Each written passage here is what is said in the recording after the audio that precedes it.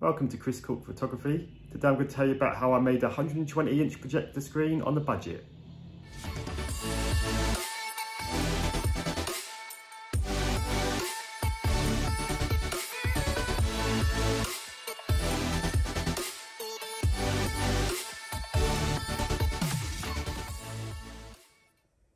Here's the screen here. It's 120 inches in a horizontal. Um, they come in like a white satin finish and I painted this with a matte grey from um, Wickes.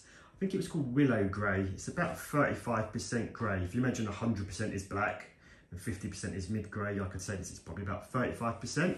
It just helps with the um, contrast. So um, I did try it before it was painted and it's nice and bright, but I just find the uh, black's a bit too grey. I use this with an Optima projector, which is down here. It's a 4K short throw projector. I've got it in this wooden box at the moment on wheels because um, I don't want to accidentally kick it. Um, yeah, it's been really good so far. It's about 1600 quid in the sale. It was originally 3000 but um, I got it like Black Friday last year.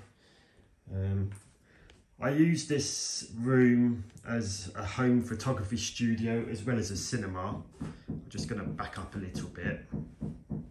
But what I basically do is I'll have subjects stand in front of the screen and then project like the uh, backdrop of an office if I'm doing like a corporate headshot or if I'm just doing some kind of cinematic photography with uh, sort of TFP models, I'll use this piece of Perspex here, um, spray some water on it, and then have the model stand behind it and then have like a cinematic backdrop, whether that be like a, a film noir kind of one, sci-fi.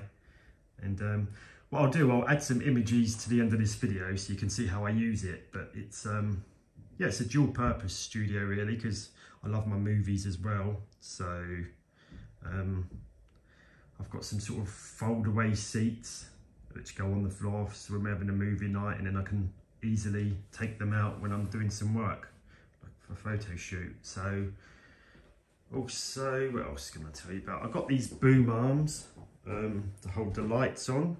They were from Amazon. Um, they're newer ones and I think the pair cost me about £100. So they're pretty good. The studio's still a bit of a work in progress. Um, but yeah, it does the job. It's about four meters square. It's not the biggest studio, but it, um, it's fine for headshots and some sort of waist up photography. Still got a few things I want to do in here and add. So you have to excuse this gimbal. I'm getting a bit used to still on my phone. But um, yeah, I'll just get a piece of the material so this is what foam board is. This particular version I use is three millimeters thick.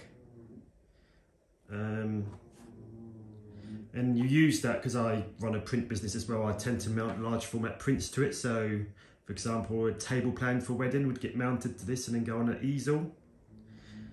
But um, yeah, there's a few versions. You get one called Foamex, but there's some cheaper versions where it's almost corrugated on the inside. and You don't want that you want this one which has got like a foam core all the way through.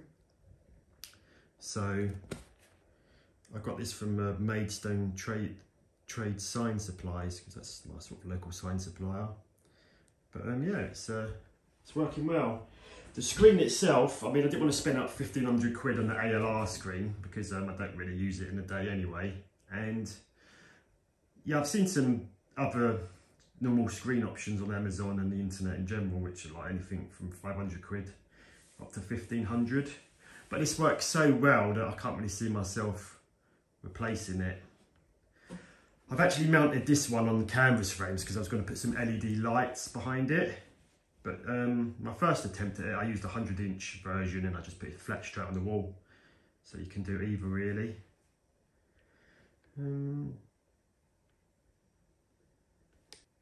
When I do use this as a uh, background for my photo shoots, I tend to shoot with a wide aperture to put the background out of focus just to help with that added bit of realism. And I use these two video lights that I have. These were also about £200 from Amazon and they're not bad, pretty good value. Wouldn't mind getting some colour changing ones. At the moment I shoot with a Nikon 85mm f1.4 and a Tamron 35mm f1.4. They're both really sharp lenses. I do love the uh, Nikon 85, it's a bit of a classic that one. The total cost for this build was it's £40 for the screen and then I think the paint was 10 to £15 so it's cost me 50 quid. Um, I did go to the length of painting the room a very dark grey just to help with light bounce. But yeah, it's been great. It's uh, it's a call it a budget setup, but it doesn't perform like budget. It performs better. One more thing as well, if you do want to set up a cinema on a budget and want some great surround sound, this uh, Mission sound system here was sort of the one of the best systems for 800 pounds back in the day. I think it's just sort of like around 2007 or so. But um, yeah, you can pick these up now for about 125 quid on eBay or Marketplace.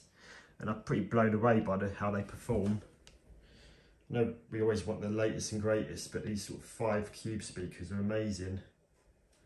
I almost felt like buying a second set for my studio because they're such good value, what you can get them for now.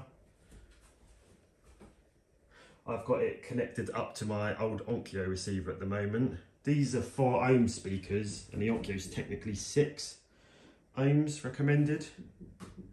But um, it still works excellent. Anyhow, that's uh, all for today. But uh, yeah, I'll add some pictures now at the end of this video so you can see how it gets used and what results I get off it. Here's my lovely friend Nicola West. You can find her on Instagram under Nicola West. Um, this was using a perspex screen with uh, some some sprayed water and then a projected background out focused. Here's a little video here of the process. And this was for a black and white one on this occasion. And coming up now is a sort of Blade Runner inspired shot. Um, and also to follow this, I've got a couple of corporate headshot examples. So this kind of projects that they're in like a, a posh office. Um, client was quite quite happy with this, and I've got one more with a lady with a similar background as well. So I've just done another one actually. I'll be sharing them photos on my website soon. But um, yeah, here's uh, one more of the background. Well, a background.